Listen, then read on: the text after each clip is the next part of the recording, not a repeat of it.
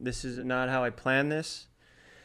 This is uh, this is a big announcement. Well, part of it. I was waiting for this to be done, and I had a couple eye surgeries. I wanted to keep that part of my life private, and that's why I wasn't on camera. I was trying to hide. My eye looked pretty gnarly after the surgeries, and it's still getting better. So I was planning on coming back when the time was right and the set was right, and I could um, get back to my old self. Unfortunately, uh, a couple days ago, an article came out where some pretty horrible things were said, and I felt the need to address them because my name was in the article and I'm associated with these horrible, horrible acts, and I am completely 100% innocent. I spoke to a reporter before that article was published just to clear my name, just because I felt I had no guilt and uh, you know everyone advised me not to talk to reporters because they'll twist your words and even in my past experience with getting arrested they'll always tell you do not say anything because you'll incriminate yourself and you only make things worse and you are innocent until proven guilty. But in the internet world i feel like you're guilty until proven innocent. So if i sit here and stay quiet and try to solve this over tweets, I'm just going to screw up more and look like more of an idiot because uh, you guys can't see my face, one, and two, I am pretty bad at explaining myself. So I'll probably fuck up a lot here and I'll probably be picked apart, but I don't care. I'm just going to do it because I have nothing to hide. I'm completely innocent, and what the what was said about me was false. Before anything, my heart goes out to the victim, and this video is not to discredit her what Dom did was horrible and disgusting and makes me sick. And I had no idea about this until this article was published. Well, technically, I got reached out to to comment on it. And nobody really knew what happened that night until that article was sent out to us. And I chose to comment on it. I chose to comment on it because some things that were said about me were completely false. I'm sitting here watching these videos where they're dissecting the article and the video itself and the actions that happened that night and I am mad at myself because the way I look. I, I genuinely am upset with myself and I know that I, I didn't do what they're saying that I did, but the way it looks, I can understand why people are pissed off. And I just want to explain that. And by doing that, I have to explain how David's vlogs work. It's kind of like uh, a chaotic shittier version of SNL. David will come up with ideas himself, but since he would have to put out so much content, other people will pitch ideas and sometimes he'll like them and sometimes he'll shoot them, sometimes he'll scrap them, we won't use them. Um, sometimes you get to do your funny joke that you did in his video, which is the biggest platform. And that's great because then you get more attention to your channel and, and whatever, and, and you can maybe get more possibilities from that bit that you executed in, in his video. So on this day, three years ago, um, Dom had posted an Instagram story where he was asking to have a foursome. He was asking who would who would be interested in having a a, foursome with him. Uh, we got wind of this, and it seemed like an interesting bit that possibly, you know, potentially something funny could come out of. Back when I was rolling with David and we, we would film these vlogs, it was very like chaotic. We'd bounce around, we'd be in one spot for 15 minutes, we'd shoot back to the fucking In and Out parking lot and see if we could find something there. We go to Hollywood Boulevard. We would go to David's house or wherever, and we just keep trying to find jokes. And this situation this night is not how it played out in the video because you guys only see a small, small part of it. Sometimes jokes don't land. Sometimes shots don't work. Sometimes audio isn't clean. Sometimes somebody says a joke, it doesn't happen on camera we have to redo it. Sometimes things are scripted entirely. I and David and we all were under the impression that this was a consensual bit. These girls had answered Dom's message to have a threesome and they came over to do that or maybe pretend to do that or joke around or just maybe nothing was going to happen. Who knows? According to the article and in the video, maybe five or six girls showed up. They weren't interested in having the threesome. I think they just wanted to hang out and film maybe some of them were, or I don't know exactly. I, I remember some of them saying that they were some were 20, some were 21. But in the article, it says that Trisha, who was Jason's girlfriend at the time and the one bringing all this to light, she is saying that I supplied alcohol to loosen up the girls, which it just it just makes me angry because it's so not true. I willingly called Insider to clear my name and say this is complete bullshit. Trisha and I have had, you know, we haven't been so friendly with each other in the past because of the breakup with Jason. My loyalty remained with Jason after the breakup. I saw Trisha make videos on Jason and she was angry at him for whatever reasons. That's between them. I reached out to Trisha personally after all this, and I mean, I, I only knew one side of the story at the time. I only knew what she was saying online, and he was losing jobs, losing money, he was getting hate. To me, in my eyes at the time, it was taking food out of his kids' mouths. So, however much attached my name is to this, it's just because I was the only one to speak. I talked to the reporter and I told her that I had nothing to do with buying the alcohol. It absolutely was not me. I will go down to that liquor store and I will dig for those tapes for, from three years ago to see who walked in the liquor store. I check my credit card statement. I don't know how you how you prove that you didn't buy alcohol. The only one that was allegedly saying that I bought the alcohol was Trisha.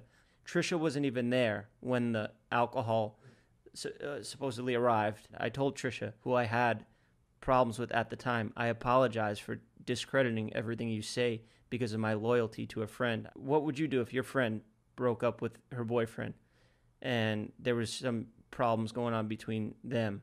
You would stick with your homegirl. That's it. That's just that that was my problem and that's why I had a beef with Trisha. You know, that's why my name is in this article, I believe. For the first time, I talked to the reporter from Insider. I told her that I 100% didn't buy the alcohol. I swear to God, I swear on everything. I definitely did not. I'm sober. I would not. I haven't. I I know I haven't bought alcohol because I quit drinking. So I just there's no way I could have bought the alcohol. Then she asked me about a joke that I made with Todd in a video where I made fun of his drinking problem and like how he loves whiskey or something like that. I do make those jokes about Todd. So I said, "Yeah, you know, that that could have been in a video later years later in a completely different situation, but I wasn't saying Todd bought the alcohol. That was like 20 minutes apart in our phone call. So for you to put those two together, it pissed me off because uh, now you're, making me look like I'm throwing my friend under the bus here and saying that Todd was the one who supplied this alcohol to loosen girls up. I've never given a girl a drink to loosen girls up in my life. It just sucks because all you need to do is say something on the internet and then it's a story and then it's it's this is a literal, literal published article with a paywall in front of it you have to pay to read it and the girl said to me i don't know what video you said that in but i didn't have much to work with and that's what i think trisha said to me or something so that's what I had to go with. You're the only one that spoke to me. What vlog or barbershop episode did I reference that Todd likes whiskey? I don't know because I know Trisha has like brought that up, but I was just like told that there was a clip of you and Todd talking about the alcohol. So for me reaching out, that's why my name is in this article and that's why I'm associated with this. Back to explaining how David films, we do stuff that sometimes doesn't work. And that bit in our eyes, all of our eyes, it was a failure. It didn't work out and we all left thinking it didn't work out. We peeked in the room. We were like, oh, they went in the room with him, but nobody's clothes were taken off. No, nobody was kissing. There was nothing going on. We were just joking around, and then we left straight up. We left. We went somewhere else to film something else. In the video, it looks like we were peeking in, and in the article, it says that the friends had to lift her limp body out of the room because she drank so much alcohol that was supplied allegedly by me or Todd. And that sounds absolutely horrible, and I won't stay silent on this. I don't give a fuck how this gets picked apart. But I would never look into a room and see a limp girl being and allow that to happen. I made a joke in a video one time with David and Dom where he said, You guys will both end up in jail together. And I said, No, they separate the the rapists and the pedophiles and stuff like that. They they separate those guys and they put them in different color outfits and they give them special security because they get beat down and they get killed. because of what they do when you're in jail and you're a rapist. That's what happens to you. They give you the light, the light blue jumpsuit, and the rest of us would be in dark blue. Look, I, I've, I've fucked up before in the past. I've made mistakes. I've addressed them. They're on the internet. You could read through every one of them, and I'll admit to them. If I did something wrong, I'll admit to it. This was all nearly a decade ago, and I have nothing to hide now. Look, I reference jail a lot, and it's become a part of my character, I guess. And I haven't been there in 10 years, but what I can say is it's it's a horrible place. It's where nobody would ever want to be. The second you get there, especially in California, you have to fight and even the most hardened criminals, even the worst people on the planet that, are, that have to be locked in a cage because they can't be out in society, still do not condone rape and sexual assault and pedophiles. I don't stand for any of that shit. Dom is going to get what's coming to him. I've been reaching out to him because he needs to address this because since I'm the only one who will talk, I'm the one that's getting the most shit. And I called Dom several times a day. Uh, I've been texting him and he said, stop calling me. And I said, it doesn't work like that. I'll just fucking read it because I, I mean, who gives a fuck? I'm an open book. I got nothing to hide. He said, on a call, bro. Stop calling me. I said, I said, stop calling you. It doesn't work like that. I, I ended it off with saying, you better hope the cops find you before I do. I mean, I don't even know what I would do. This video and this whole situation makes me sick. I mean, the poor girl has to live with this. I just want you guys to know that I would never just sit back and watch a girl get fucking. I would never sit there and let that happen. Ever. You know, the video's being picked apart, lined up with the article, and it looks bad. I, I'm mad at myself when I watch it. You know, I have a sister, I have nieces, I have respect for all women. But back to how David vlogs, it's obvious that, you know, things are scripted and set up and reshot. I've said that already. But there is a clip at the end of the video and it's with Dom with his shirt off, and he's fucking sweating. That shot was not even shot that day. And I know people will probably take this clip right now of me saying this, and everything said is a statement, and everybody's story needs to match up. And you can take this and you can use this in court. This is my statement. I'll fucking stand on the stand and say, say this again.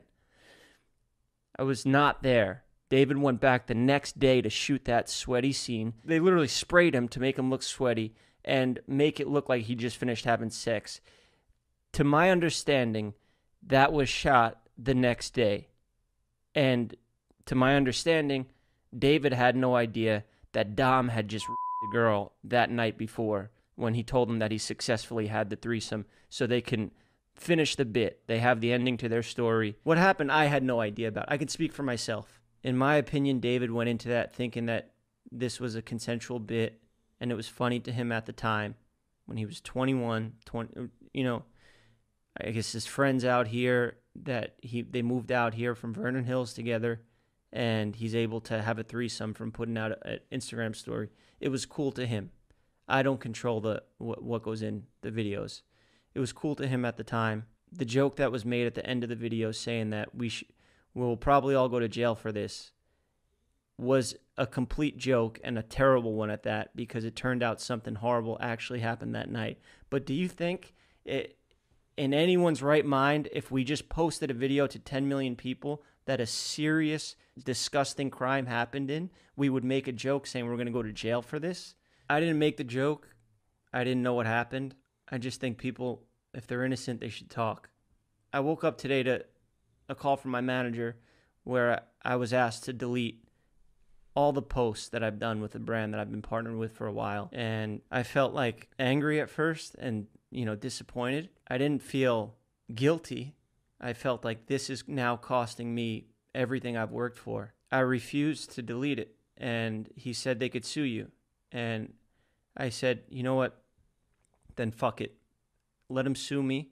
I'm innocent and I know how this looks from a PR standpoint, but I will speak up and I will show that I'm not who these people are saying I am. Removing those those posts the, the, from those partnerships, it looks like I'm admitting guilt. And I, I know he's saying that it's a PR thing. Like if your name is in titles and you're speaking on stuff, you're linked to this. But I'm fucking innocent. I didn't assault a girl. I didn't. I wasn't an accomplice to an assault. I tagged along to make a, a skit, to make a consensual bit. I'm not trying to defend anybody here. I'm just trying to tell the truth.